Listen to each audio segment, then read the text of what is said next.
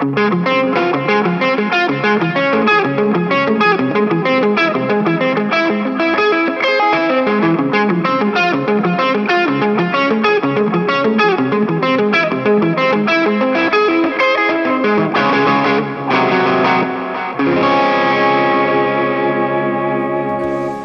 this is Dustie from Between the Buried and Me. I'm gonna show you how to play a part from Famine Wolf off Coma Ecliptic.